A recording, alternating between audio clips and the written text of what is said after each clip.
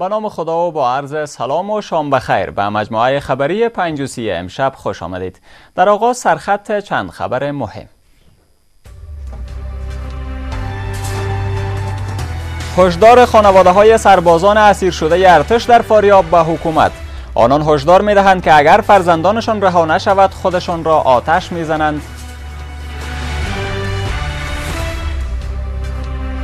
تاکید رئیس جمهور غنی بر میکانیزه شدن زراعت در کشور. آقای غنی می‌گوید ثبات سیاسی در کشور به پیشرفت زراعت گره خورده است.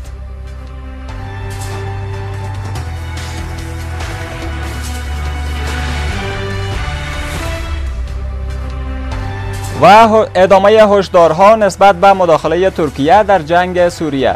رئیس جمهور فرانسه می‌گوید دخالت ترکیه در سوریه خطر بروز جنگ را میان روسیه و ترکیه افزایش می‌دهد. امروز شنبه اول هوت سال 1394 خورشیدی است که برابر می شود با 20 فوریه سال 2016 میلادی.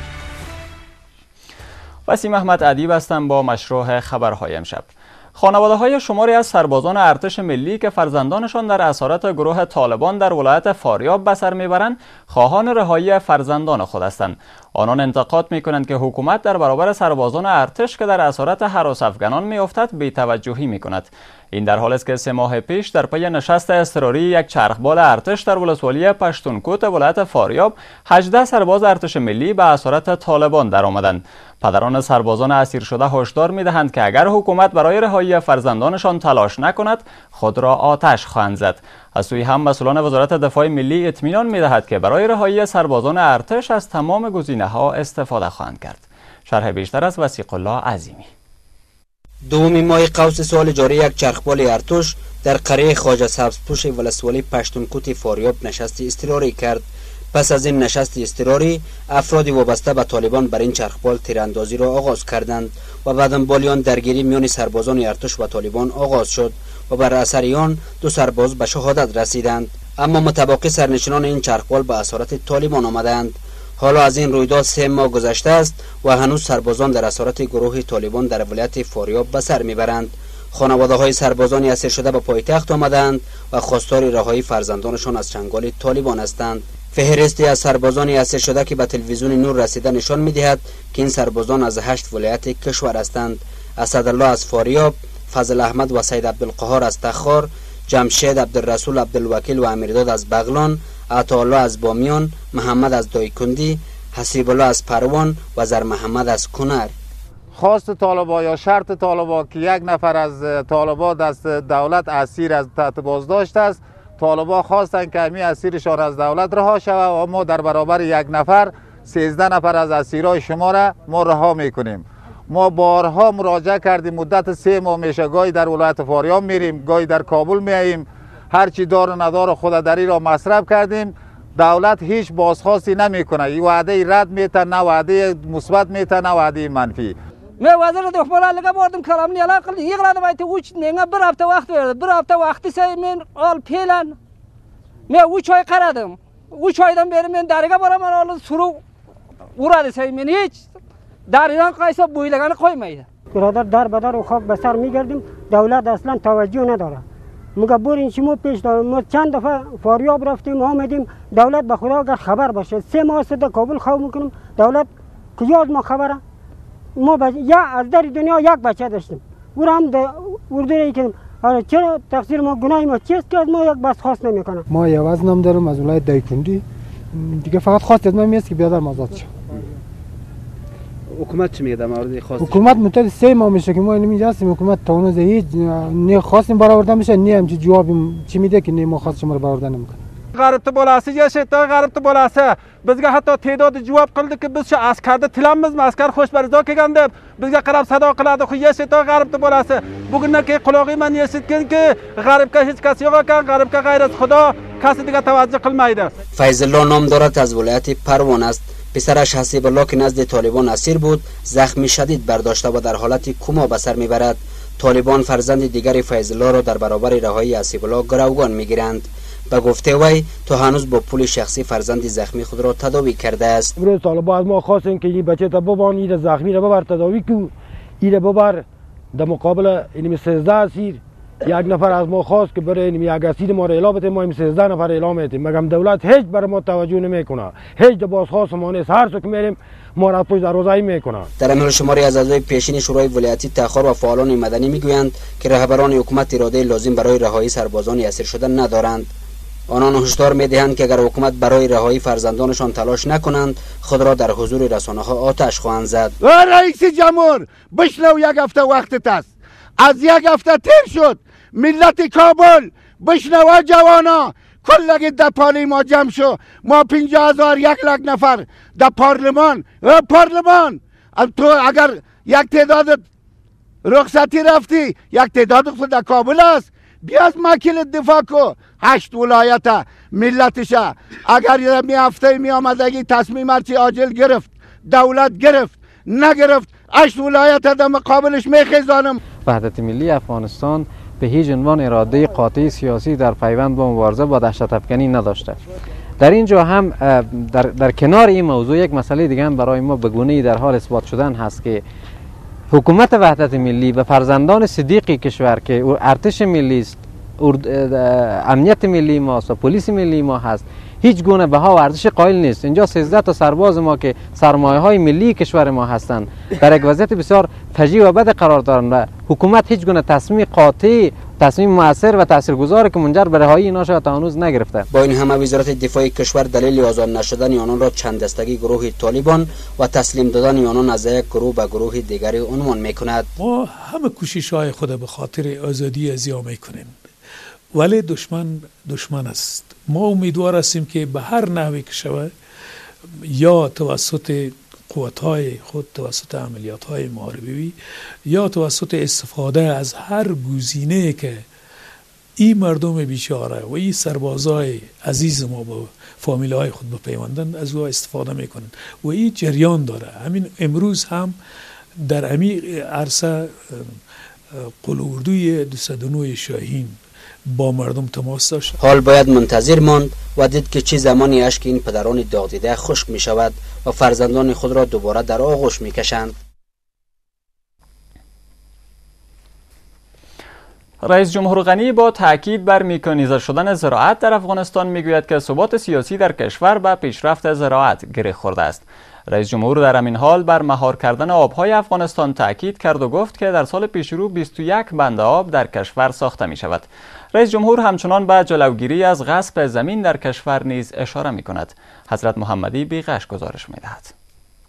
افغانستان یک کشور زراعتی است. بیش از 80 درصد مردم در این کشور پیشه زراعتی دارند. اما هنوز هم صادرات افغانستان به 4 میلیارد دلار آمریکایی در سال بالغ میگردد. به همین بهانه نشست در کابل به منظور چگونگی ترویج و انکشاف زراعتی راه اندازی شده بود. در این نشست شمار زیادی از دهقانان کشور به منظور بحث پیرامون رشد کیفیت زراعتی اشتراک کرده بودند. نبود یاب کافی برای زراعت نبود مارکت برای فروش محصولات نبود سردخانه برای نگهداری میوه و سبزیجات و نیز نبود انرژی از نارسایی جدی در برابر دهقانان کشور گفته شده است. عدم دسترسی به کود کیمیایی یعنی کود کیمیایی است ولی به کیفیت به قیمت گزاف در بازار فروخته میشه. عدم دسترسی به marketing یا بازاریابی نبود سردخانه ها برای نگاه داشتن میوجات و سبزیجات و انرژی. در این حال وزیر زراعت و آبیاری و مالداری که در این نشست صحبت می کرد به ترویج انکشاف زراعتی در کشور تاکید کرد و گفت که برای کارمندان ترویج پس از این بودجه لازم در نظر گرفته شده است تا با رفتن در مناطق مختلف به دهاقین کشور آگاهی بدهند. در همین حال وزیر زراعت می‌گوید که هنوز هم ناامنی در بسیاری از مناطق در برابر کارمندان ترویج این وزارت مشکل ایجاد می کند ما در مناطقی که نظر به مشکلات امنیتی رسیدگی نمی‌تونیم ویدیوهای زراعتی جور کردیم. در او مشکل در او ولایت ها یا ولسوالی ها قریجات. بالخصوص قریجاتی که ما نمی‌تونیم یا ولسوالی که نمی‌تونیم قطعات نمایشی به وجود بیاریم این ویدیوها می‌تونن برای داقین ما راهنمایی کنن تا چطور روش های نو استفاده کنند تا چطور سطح حاصل خود بلند ببرند با این همه رئیس جمهور غنی نیز با تاکید بر میکانیزه شدن بخش زراعت در افغانستان می‌گوید که ثبات سیاسی در کشور به پیشرفت زراعت گره خورده است. با گفته او تا زمانی که موضوع زراعت در کشور رشد نکند صلح و امنیت در افغانستان به وجود نخواهد آمد. رفاه از معادن خواهد آمد اما بدون زراعت در افغانستان ثبات آمده نمید. بنابری مسئله زراعت مسئله وزارت زراعت نیست. از اهمترین موضوعات حکومتداری و تعهد ملی ماست. یک زراعت مرفه هدف ماست از خاطر که ثبات سیاسی اجتماعی و اقتصادی افغانستان به زراعت بسته است. رئیس جمهور در امینال بر مهار ساختن آبهای افغانستان تاکید کرد و گفت که در سال پیش رو 21 بند آب در کشور ساخته می شود. رئیس جمهور همچنان با جلوگیری از غصب زمین در کشور نیز تاکید می کند. امسال انشالله تعالی شروع 21 بند آب می کنیم که خواهشایتان ما به متخصصین بین المللی ضرورت نداریم که بگویم اولویات ما چی باشه. نعیم خان اولویات برای ما داد. آب مهار کنین آب انشالله تعالی مهار می‌کنین این در حالی است که رئیس جمهور غنی به منظور رشد و انکشاف محصولات با کیفیت زراعتی در کشور از علما و بزرگان افغانستان درخواست کرد برای ترویج و انکشاف زراعتی تبلیغ کنند. وزارت دفاع ملی می‌گوید که در پی چندین رشته عملیات نظامیان کشور در ولایت ننگرهار بیش از 200 تن از تروریستان داعش کشته شدند. معاون سخنگوی وزارت دفاع ملی می‌گوید که در حال حاضر عملیات علیه افراد وابسته به گروه تروریستی داعش ادامه دارد. به گفته وی در مناطقی که از حضور گروه تروریستی داعش پاکسازی شده پاسگاه های امنیتی تازه ایجاد شده است. حفیظ الله سالنگی گزارش می‌دهد.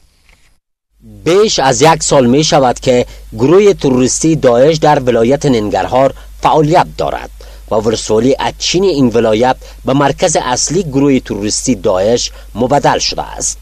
وزارت دفاع ملی می‌گوید همکنون عملیات گسترده بر ضد تروریستان داعش در ولایت ننگرهار به ویژه در منطقه مومندره ولسوالی اچین این ولایت ادامه دارد. و در چندین عملیات نظامیان کشور از چند روز بدین سو 220 تروریست کشته شدند اضافه از 220 نفر از یا در فعالیت های محاربوی در ولایت ننگرهار از بین رفتند و دیدیم که یک مرکز رادیویی از یا که در نوار سرحدی فعالیت می‌کرد توسط نیروهای هوایی از بین برده شد و فعلا موفقیت ما ای هست که مردم در اونجا از ما استقبال می‌کنند و در هر جایی که میریم نیروهای اردوی ملی را خیر مقدم میگند گروه تروریستی داعش در ولایت ننگرهار متشکل از شهروندان بیرونی و شماری از اعضای پیشین گروه طالبان است. پیش از این ریاست امنیت ملی چندین شهروند پاکستانی را که وابسته به گروه تروریستی داعش بودند در این ولایت بازداشت کرده است. وزارت دفاع می‌گوید در چند روز گذشته گروه تروریستی داعش از چندین ولسوالی ولایت ننگرهار عقب زده شدهاند و این کار نیروهای امنیتی با استقبال باشندگان محل روبرو شده است. و اینها در ولسوالی حسارک بودند در ولسوالی دیبالا بودند در ولسوالی پچراگان بودند در اچین بودند در کوت بودند در لالپور بودند. و ما از این ولسوالی ها اینا را بیرون راندیم. و فعلا هم در ولسوالی چین ما فعالیت های ما ادامه داره و شما خبر دارین که بزرگترین مرکزی از یا که در ولایت ننگرهار اچین بود ما از یا از اینجا اینا را بیرون راندیم و فعلا مکاتبی که در ولسوالی چین توسط داعش معطل قرار داده شده بود امروز فعال است. این در حال است که گروه تروریستی داعش در ولایت های مشرقی کشور به ویژه ولایت کنر و ننگرهار کودکان را آموزش های تروریستی می دهند و از این کودکان در عملات انتحاری و دشت افغانی نیز استفاده می کنند لوای نوام لوای نهم نظم عامه در چوکات وزارت داخله تشکیل شد. فرمانده عمومی پلیس نظم عامه می‌گوید که این لوا حدود 2000 مامور نظامی دارد و برای تامین امنیت ولسوالی های شمال هلمند موظف شدند. در همین حال فرمانده عمومی پلیس نظم عامه اطمینان می‌دهد که تلاش ها برای خنثی کردن برنامه مخالفان مسلح دولت شدت گرفته است. منیب شاهین با شرح بیشترین خبر. به همان اندازه که امنیت شهرها به چالش کشیده شود نیاز می افتد تا نیروهای بیشتری برای تامین امنیت به مکانهای آسیب پذیر فرستاده شود. به همین دلیل به خاطر تامین امنیت هلمند لوای نهم نظم عامه به تازگی در آنجا تشکیل شد. فرمانده عمومی نظم عامه می‌گوید که این لوا حدود 2000 تن منصوب دارد که مسئولیت تامین امنیت شمال ولایت هلمند را به دوش دارد. لوای جدید خود در جمعه می‌کنه. و به زودی لوای جدید می‌تونه که مسئولیت جنگ شمال و مسیر شورای لنبریک که بسیار مهم حیاتی است از قندار به ولایت نیمروز و ایره و در پولوش مسیر شورای 611 و ولسوالی هایی که در شمال علمند است ایره برای خودش کمایی بکنه. پیش بینی هایی است که احتمال می رود در بهار پیش رو نبردها در کشور افزایش یابد. نهادهای امنیتی هم آمادگی دارند تا حملات احتمالی مخالفان را در نقاط مختلف کشور دفع ترد کنند. فرمانده عمومی نظم عامه به مردم افغانستان اطمینان می‌دهد که مخالفان هیچ کاری کردن نمی‌توانند و نیروهای امنیتی آماده دفاع را دارند. والا اگر ایوانا را هم که شما ببینید ایوانا هم استقامت کار خود می‌فهمند. اما کسایی که در افغانستان میجنگن اینا انسان ها هستند نه ایوان. اینا اگر بفهمند که که یا کی هستند کی رو می‌کشند و خون کی رو میریزونن و فکر می‌کنم که فرد می‌کنم و ما برای شما قبلا هم گفتیم و بازم براتون تکرار می‌کنم کس دیگه در افغانستان به زور تفنگ حاکمیت کرده نمی‌تونه سر ملت افغانستان. هر کس می‌تونه به کارت کاغذی کارت های کاغذی چاپ می‌کنند چیز اونو می‌تونه که سرنوشت سیاسی کشور تغییر بده. نه تفنگ و نه توپ و نه تیاره با این همه هنوز در شماری از ولایات نبرد میان نیروهای امنیتی و مخالفان مسئله جریان دارد. به گفته مسئولان امنیتی تا کنون در نبردها نیروهای امنیتی دستاوردهای خوبی داشتند. و در ادامه خبرهای داخل کشور چند خبر کوتاه. در پی عملیات مشترک نظامیان کشور دو تن از فرماندهان شبکه تروریستی اقانی در ولایت خوست دستگیر شدند. دفتر رسانه های ریاست عمومی امنیت ملی با نشر یک خبرنامه می گوید که یکی از افغانان از ولسوالی صبری و دیگرش از ولسوالی باک ولایت خوست با چهار تن از امراهانش در پی عملیات ویژه نظامیان کشور بازداشت شدند. در خبرنامه آمده است که افراد بازداشت شده مسئول فعالیت های توریستی مثل منگذاری، انتقال جنگ افزار به گروه های توریستی، عمله بر موترهای نظامیان و غیر نظامیان و قتل عالمان دین بودند.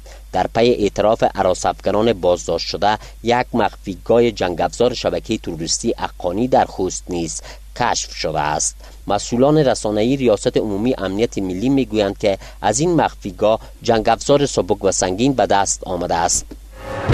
یک فرد وابسته به گروه توریستی داعش در ولایت غور دستگیر شده است.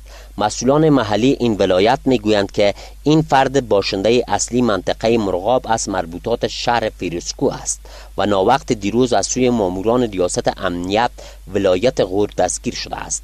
احمد محمودی سخنگوی پلیس غور می‌گوید که این فرد عبدالرحمن نام داشت و عضویت گروه طالبان را داشت و از چند ماه به این سو به گروه توریستی داعش پیوسته بود. اما وزارت امور داخله با نشر یک خبرنامه می‌گوید که عبدالرحمن از فرماندهان کلیدی طالبان در غور بوده است و دیروز از سوی پلیس بازداشت شده است. آمر امنیت فرماندهی پلیس ولایت لوگر با برادرش به اتهام انتقال غیر قانونی جنگ افزار دستگیر شده است. ویسودین تلاش مدیر مبارزه با جرمهای جنایی فرماندهی پلیس ولایت لوگر می‌گوید که سمونوال قاری محمد وار آمر امنیت فرماندهی پلیس این ولایت و برادرش از سوی پلیس در کابل بازداشت شده است به گفته مدیر مبارزه با جرمهای جنایی فرماندهی پلیس ولایت لوگر این مسئول پلیس زمانی در کابل دستگیر شد که در موترش جنگ افزارهای غیر قانونی برادرش را غرض فروش انتقال می‌داد. دو تن از ماینگذاران گروه طالبان در ولایت پکتیکا در پی انفجار ماین خودشان کشته شدند. دفتر رسانه‌ی وزارت امور داخله در یک خبرنامه می‌گوید که این دو ماینگذار شب گذشته هنگامی که قصد جاسازی یک ماین ضد وسایط را در مربوطات مرکز پکتیکا داشتند در اثر انفجار ماین جاسازی شده خودشان کشته شدند. خبرگزاری آمریکایی فاکس نیوز مدارک ارتباط اعضای خانواده حامد کرزی رئیس جمهور پیشین کشور با سازمان استخباراتی آمریکا را فاش کرده است. فاکس نیوز با فاش کردن ایمیل های شخصی هیلاری کلینتون وزیر خارجه پیشین آمریکا گفته است که برادر حامد کرزی و یکی از کارمندان پیشین شورای امنیت ملی این کشور با سازمان استخبارات آمریکا ارتباط مستقیم داشته‌اند. این خبرگزاری مدعی شده است که احمد ولی کرزی برادر حامد کرزی و ضیا صالحی از کارمندان پیشین شورای امنیت ملی افغانستان از CIA پول دریافت می کردند احمد ولی کرزی برادر آمد کرزی و رئیس پیشین شورای ولایتی کندهار تابستان پارسال از سوی محافظش در کندهار به قتل رسید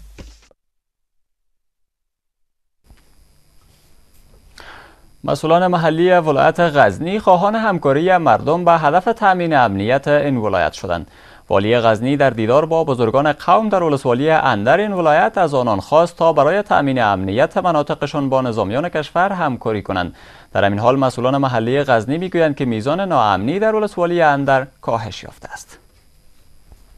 اینجا ولسوالی اندر غزنی است که سی کیلومتر دورتر از شهر غزنی موقعیت دارد. ولسوالی اندر از ولسوالی های نسبتا ناامنی غزنی است نفوذ طالبان در این ولسوالی سبب شده است تا دمانه ناامنی گسترده شود. شمار از مسئولان ادارت دولتی به منظور بررسی وضعیت امنیتی به این ولسوالی آمدند. ولی غزنی پس از بررسی وضعیت بخشهایی از ولسوالی اندر از باشندگان این ولسوالی خواست با نظامیان کشور در راستای تامین امنیت مناطق خود هم کار باشند. این قطعاتی که تقریبا در طی چند سال به عنوان پاسمون یا خیزش های مردمی در مقابل دشمن های افغانستان روحی از اونها را ما یک بر مطالعه بکنیم که گویا امو روحی سابقه و قبلی برشان هست.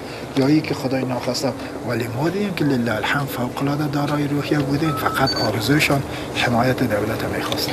از سوی هم شماری از بزرگان قوم در ولسوالی اندر به مسئولان محلی غزنی اطمینان می‌دهند که برای تامین امنیت این ولسوالی تلاش خواهند کرد. کاسی قدر ډیر خوش تاسو د خدا خوش این در حال است که شماری از مسئولان محلی غزنی مدعیند در این اواخر از میزان ناامنی و فعالیت های طالبان در ولسوالی اندر کاسته شده است شماری از فعالان مدنی در کابل اقدام به ایجاد دیوار مهربانی برای کمک به نیازمندان این شهر کردند.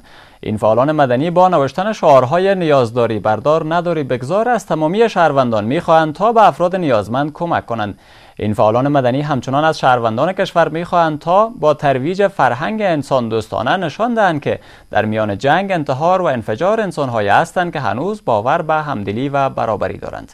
شرح بیشتر از امرالله احمدی شماری از فعالان مدنی با حرکت نمادینی در کابل دست به ایجاد دیواری مهربانی برای کمک به نیازمندان این شهر زدند. این دیوار در یک از ساحات پرازدحام کابل برای جمعآوری کمک ها برای مردم نادار به نام دیوار مهربانی کابل نامگذاری شده است. این فعالان مدنی با نوشتن شعاری نداری بردار و دار بگذار از تمام شهروندان می‌خواهند تا به کمک نیازمندان بشتابند. از هموطنان مهربان خود می‌خواهد که مهربانی فراموش شده و گم شده را دوباره به خود بازگردانیده و نشان دهند که هنوز قلبی برای مهربانی کردن میتپد.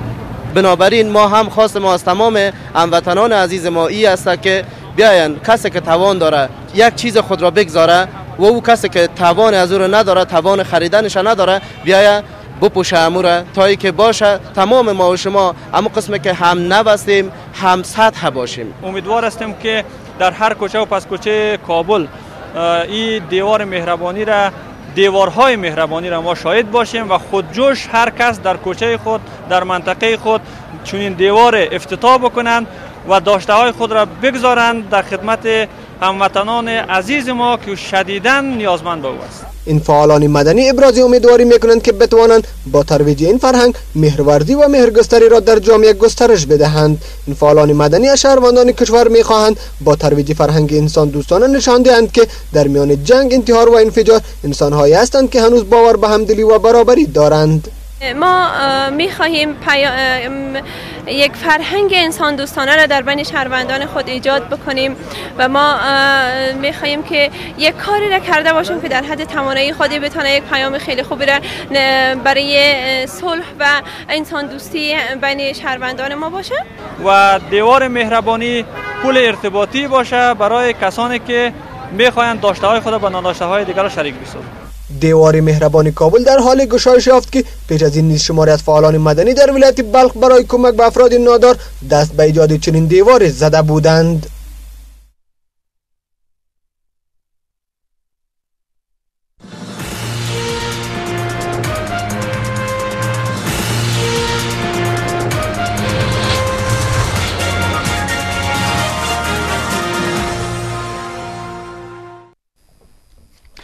و در خارج از کشور رئیس جمهور فرانسه درباره مداخله ترکیه در سوریه هشدار داده است.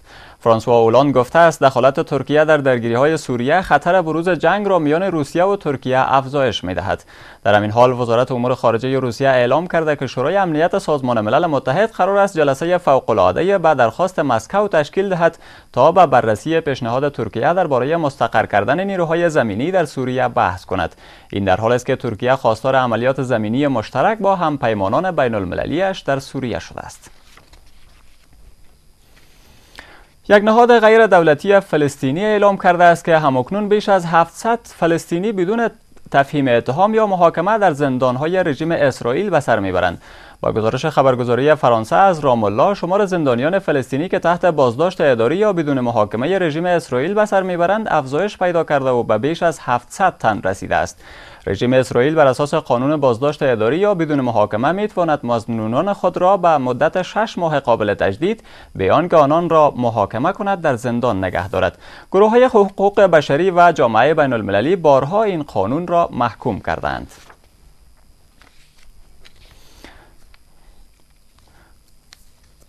اتریش از روز جمعه محدودیت های جدیدی برای ورود پناهجویان به این کشور وضع کرده است. بر این اساس روزانه تنها 80 متقاضی پناهندگی به صورت مستقیم و 3200 تن از طریق ترانزیت می توانند وارد خاک اتریش شوند. این تصمیم مورد انتقاد مقام های اتحادیه اروپا قرار گرفته است. با گفته رئیس کمیسیون اروپا محدودیت های جدید برخلاف مقررات اروپایی است. با این وجود وزیر داخلی اتریش گفته است هدف از این تصمیم کاهش شمار مهاجران غیرقانونی است. همزمان الکسیس سیپراس نخست وزیر یونان با ابراز نگرانی از این تصمیم اتریش گفته است محدودیت های جدید موجب سرگردانی هزاران پناهجو در خاک